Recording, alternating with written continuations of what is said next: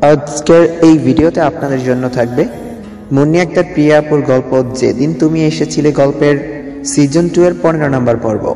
তো চলুন কথা না বলে সরাসরি গল্পে চলে যাই। স্মৃতি সিঁড়ি বেয়ে উঠতে উঠতে হাঁপিয়ে পড়েছে। আচানক সিঁড়িতে সবাইকে দাঁড়িয়ে থাকতে দেখে সে বৃহকোচকে তাকায়। সবার মতো তার দৃষ্টিও যখন সামনে গিয়ে আটকায়, তখন বিস্ময় সেও হতবাক। তড়িগড়ি করে সে এগিয়ে যায়। সাথে আরও কয়েকজন এসে অর্ষা ও জিসানকে ধরে ওঠায়। বেচারা ভয়ানক ব্যথা পেয়েছে। অর্ষাও যে ব্যথা পায়নি এমনটা নয়, তার চেয়েও বেশি ব্যথা বেশি পেয়েছে লজ্জা। এতগুলো মানুষের সামনে কীরকম বিচ্ছিরি একটা ঘটনা ঘটে গেল, আনাফের দিকে দৃষ্টি পড়ায় সে দৃষ্টি সরিয়ে নিল। স্মৃতি জিজ্ঞাসা করল, ঠিক আছো তুমি? অর্ষা উত্তরে মাথা নাড়ায়, তারার উপরে যাওয়া হলো না তখন। স্মৃতি ধরে নিয়ে যায় মিজান অর্ষার ব্যথাতুর মুখ দেখিয়ে জিজ্ঞাসা করে, কি হয়েছে? উত্তরটা স্মৃতি দেয়। আর বলে, পড়ে গেছে, স্যার। সে কি, কীভাবে? বেশি কি ব্যথা পেয়েছে? অর্ষা কোনো রকম মাথা নেড়ে বলল, না, স্যার, ঠিক আছে। পাঁচ মিনিট পরে গিয়েই ফাইলগুলো এনে দিলে হবে। তোমার যেতে হবে না, আমি অন্য কাউকে পাঠাচ্ছি। রেস্ট করো তুমি। অর্ষ নিজের জায়গায় গিয়ে কিছুক্ষণ চুপ করে বসে থাকে। নানান জনের তাকানো, ফিসফিসিয়ে কথা বলে তাকে দেখে মিটমিট করে হাসি সবই সে লক্ষ্য করে। প্রচণ্ড খারাপ লাগা সত্ত্বেও কিছু বলতে পারছে না। কজনকেই বা বলবে? আনফের দৃষ্টি ল্যাপটপের স্ক্রিনে। কিন্তু চোখের সামনে ভাসছে অন্য দৃশ্য। অনেকবার চেষ্টা করেও মাথা থেকে বিষয়টি জেরে ফেলতে পারছে না। এজন্য তার রাগও হচ্ছে ভীষণ। রাগটা আসলে কার উপর হচ্ছে? সেই বিষয়েও সে সন্দিহান। মেয়েটা এত বেশি কেয়ারলেস আছে শুধু বস্তাবর্তী রাগ। মিজান তখন দরজা নক করে বলে, স্যার, আসব? আনাফ বলল, আসুন। মিজান ভেতরে এসে ফাইলগুলো দিয়ে বলে, একবার চেক করে দিয়ে সাইন করে দিন। এই ফাইলগুলো সবসময় অর্ষা নিয়ে আসে। কাজটা অবশ্য অর্ষারই। আনাফ ফাইলগুলো চেক করতে করতেই বলল, ফাইল আপনি নিয়ে আসলেন যে? অর্ষা, ঠিক আছে। এতক্ষণে পুরো ঘটনাটা মিজানও জেনেছে। সে অর্ষার বিব্রত মুখ দেখে নিজেই ফাইলগুলো নিয়ে এসেছে। সে বলল, কিছু তো বলে না। বেশি অসুবিধা হলে ছুটি দিয়ে দিন। বাসায় গিয়ে রেস্ট করুক। ওকে, স্যার। আর্নব সাইন করে ফাইলগুলো এগিয়ে দিল। সকালের আজ টিফিন পিরিয়ডে ছুটি হয়ে গেছে। আসার সময় সে তার বান্ধবীর কাছ থেকে ছোট্ট একটা বিড়াল ছানা নিয়ে এসেছে। সোনালী রঙের বিড়ালটি দেখলেই মনে হয় আজ তো একটা মিঠাই। সে একটু ভয়ে ভয়েই বাড়িতে ঢোকে। সেলিনা বেগম বারান্দায় বসেছিলেন। সকালকে চোরের মতো ঢুকতে দেখে জিজ্ঞাসা করেন, লুকিয়ে কি নিচ্ছিস? সকাল থতমত খেয়ে বলে, কই, কিছু না তো। দেখি, এদিকে আয়। ফ্রেশ হয়ে আসি। তোকে আমি এখনই আসতে বলছি। সকাল ভয়ে ভয়ে এগিয়ে যায়। সেলিনা বেগম বিড়াল দেখে হাত কুঠে বললেন, এইটাকে কোত্থেকে নিয়ে এলি? রিয়ার কাছ থেকে এনেছি মা। আমার একটা বিড়ালের খুব শখ। তোমায় বলেছিলাম না? তোরে যে পালতেছি এই তো বেশি, তুই আবার আরেকজনকে পালার জন্য নিয়ে এসেছিস? এমন করো কেন তুমি? অর্ষা দেখলে কেমন রাগ করে দেখিস। আপুকে আমি ম্যানেজ করে নিব। সেলিনা বেগম চুপ করে রইলেন। সকাল বলল, মা, বিড়ালটা কিউট না? ওর নাম কি রাখা যায়, বলো তো? সেলিনা বেগম এই কথায় কোনো উত্তর না দিয়ে বললেন, তোফালের সাথে কি তোর দেখা হয়েছিল? না তো মা। কেন? এমনি আচ্ছা যা, ফ্রেশ হ গিয়ে। সকাল চলে যেতেই তখন তিনি আবারও ডাকেন, শোন, কিছু বলবে মা? তিনি কাচুমাচু হয়ে বলেন, রুহুল, তোকেও ফোন দেয় না রে?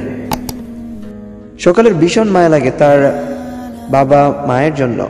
মানুষ দুটো ভাইয়াকে কতটা ভালোবাসে, এত কিছুর পরও উদ্গ্রীব হয়ে অপেক্ষা করছে। সে দীর্ঘশ্বাস নিয়ে বলে, না মা।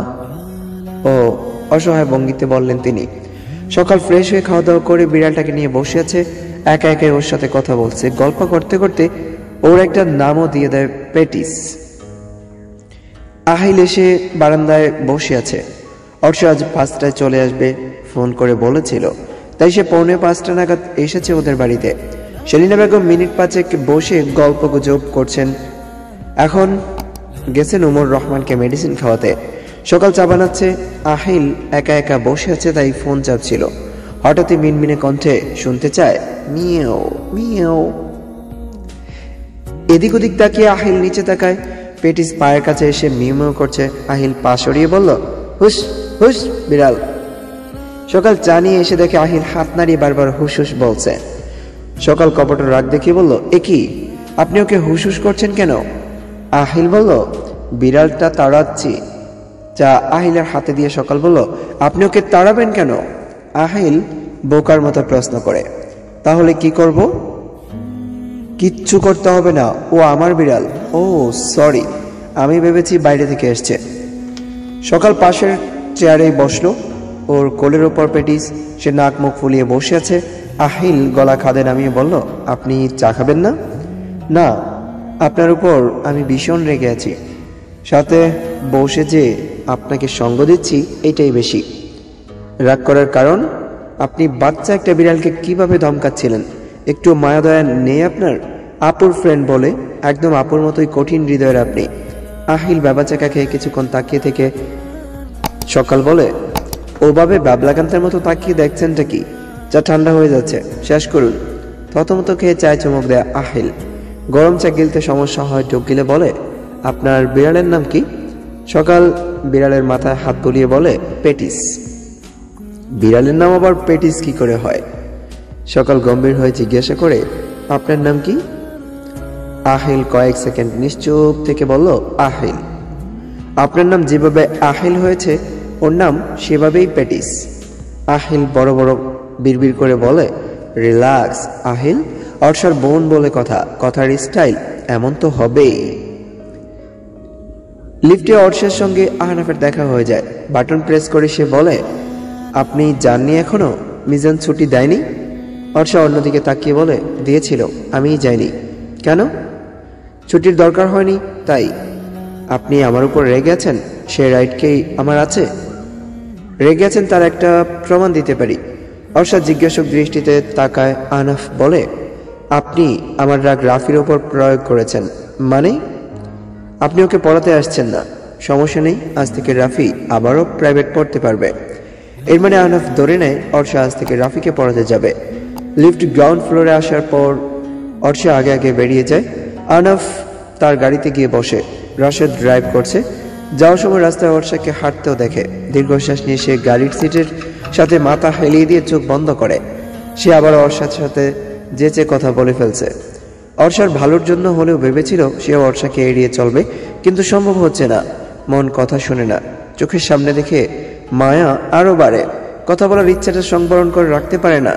যে রাগের আড়ালে যে কষ্টের পাহাড় নিয়ে মেয়েটা ঘোরে, সেটা জানে না সে। বোঝে, খুব ইচ্ছে হয় তখন পাশে থেকে সাপোর্ট করতে, মাথায় হাত বুলিয়ে দিতে। দিশেহারা লাগছে তার, নিজেকে। কোনো পথই যেন খুঁজে পাচ্ছে না। কি করবে? কি করা উচিত? কিছুই বুঝতে পারছে না। অনেক ভেবেচিন্তে সে চোখ খুলে ফোন বের করে হাসিবকে কল করে। রিসিভ করার পর হাসিবকে কিছু বলতে না দিয়ে বলল, হাসিব, আমার মনে হয় শশীর সাথে খোলাখুলি কথা বলা উচিত। তো ফ্রেন্ডস এতটুকু ছিল আজকের পর্ব। কেমন লেগেছে জানিয়ে কমেন্ট করবেন। ভালো লেগে থাকলে একটা লাইক দিতে ভুলবেন না। সবসময় ফারুক স্টাডির সাথে অনেক অনেক ভালো থাকবেন। সুস্থ থাকবেন সেই কামনায়। আল্লাহ হাফেজ। Bye bye tata.